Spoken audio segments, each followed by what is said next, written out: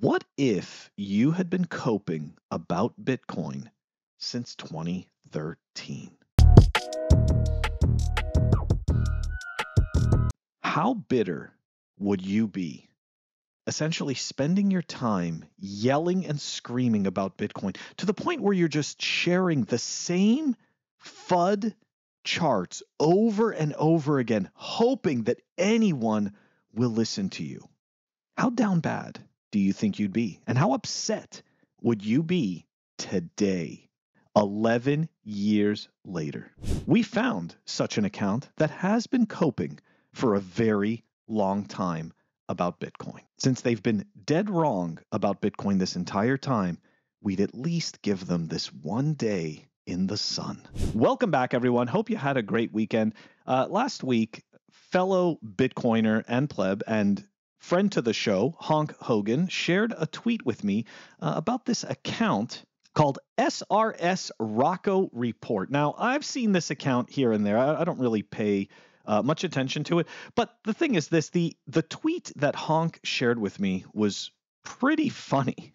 so I figured, you know what? We should do a clip about this. The world's biggest joke is being perpetrated on Bitcoin investors into believing it's an asset. The irony about the supposed decentralized BTC market is that it's being propped up by US Treasury debt funneled into Tether. Debt propping up Bitcoin. Now, I find this very interesting because essentially what's happening here is that this person um, is essentially choosing to ignore the truth about all markets, including their fabled and untouchable gold and silver markets. So the reality is is that these hard assets, right? It's not necessarily that they quote unquote retain their purchasing power. The reality is is that the money that we use is constantly losing its purchasing power. So Rocco Reports is sitting here claiming that Bitcoin is a Ponzi scheme being held together by Tether. My friend, what do you think the US dollar is? Who do you think is holding up that Ponzi scheme? Right?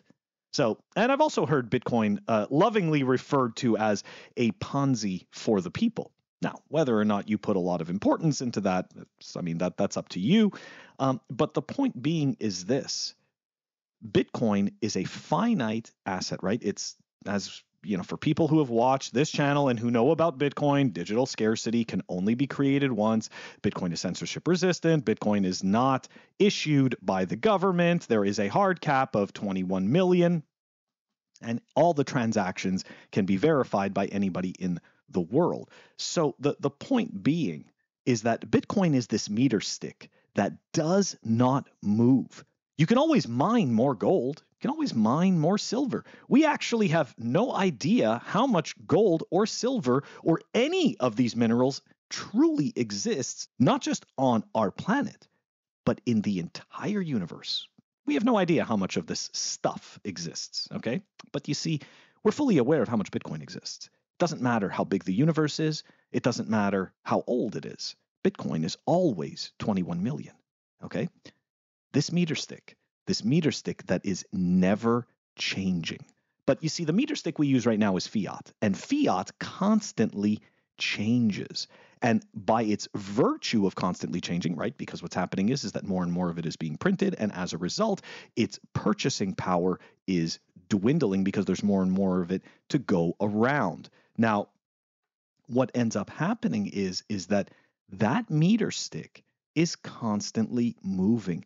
So any asset that is harder than that, right? Any asset that has better qualities than that will appreciate in purchasing power.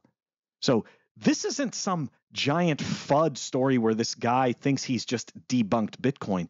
This is a person who essentially is being a complete hypocrite about Bitcoin and also being a hypocrite about the assets he loves, like gold and silver.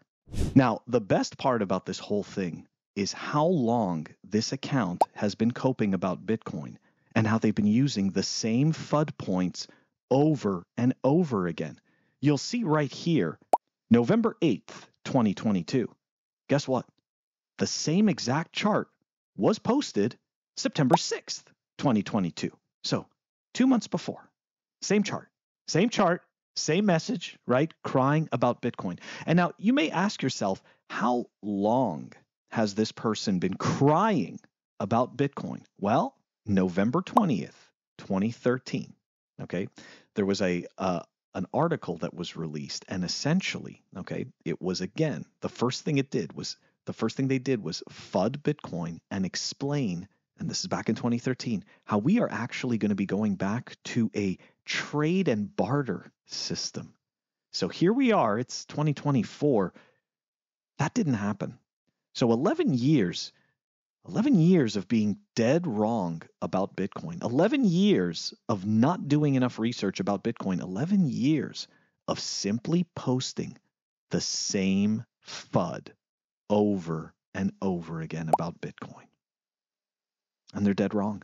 And anybody who's paying these people for their research reports just flushing money down the toilet uh, because essentially th- these people are just incentivized to tell you about their own investments, which are gold and silver and completely ignore any of the qualities of Bitcoin. Now, the um, the last piece of this right now, this account has latched on to the Tether FUD. Now, I have talked about the Tether FUD in the past. I have a, I think I have an, a playlist about debunking Tether FUD, which I will link in this video if you so choose that you want to go back and look at this. But look, the reality is this, okay? Um, this account and, and many other Tether FUDsters like to claim that somehow Tether props up Bitcoin. And they completely ignore that Tether only came into existence in 2014, long after Bitcoin already had a nominal value in the market.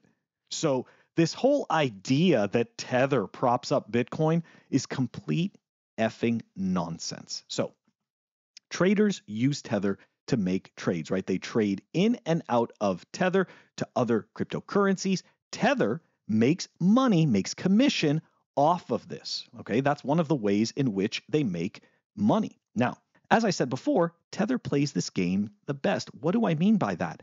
As of October 31st, 2024, Tether has about $105 billion of reserve assets, of which 84.5 billion are treasury bills. Okay. Now, you could sit there and say, oh, well, you know, it's all just a giant Ponzi that's all being held together. Well, guess what? So is the entire economy. So the, the, your your point is completely moot. But while you're crying about Bitcoin, the whole entire economy is is probably of a lower quality because so much money can be printed and so many shenanigans can be played and there are central authorities making all the rules and issuing all of this debt and all of these currencies. So this whole idea that this is a bitcoin problem is complete and utter nonsense. But my point is this tether is playing this game correctly. Why? Because they're buying these treasury bonds. They are playing nicely with the US government. Now let's address the idea that Bitcoin is somehow going to implode if Tether doesn't exist. Well, like any market that has some type of a major event that occurs, right? Like a business going under or something like that. Well, guess what? Market participants, human beings, are emotional and irrational. And oftentimes, we will sell something to avoid the pain.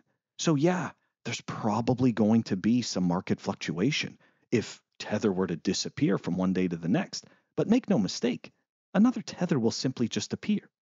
That's all there is to it. It's simply just a stable coin. It's a peg. Anybody can make them. If Tether were to disappear, all of a sudden all the action's going to move over to uh, to to Circle's uh, stablecoin. And if it doesn't move there, it'll go to PayPal stablecoin the idea that these stable coins are somehow an anchor for Bitcoin's value, this is cope. Okay, this is seethe and cope. And essentially, you're just trying to find a reason why you should stay away from Bitcoin. Anyways, I really appreciate Honk Hogan uh, bringing this bringing this uh, this tweet to my attention. Uh, accounts like this, I, I find, are always amusing because anytime I go back and look at their history, they've usually been coping about Bitcoin for years, and they can't seem to figure out why it doesn't fail. So what they do is, at some point, they just get so frustrated they just keep repeating the same thing over and over again. It's, it's actually pretty interesting. It's the um, it's a theory called the illusory truth effect where essentially you are exposed to false information so many times that you believe it's true and that is exactly what the tether fud is. Anyways guys that's all i wanted to talk about today. Catch you tomorrow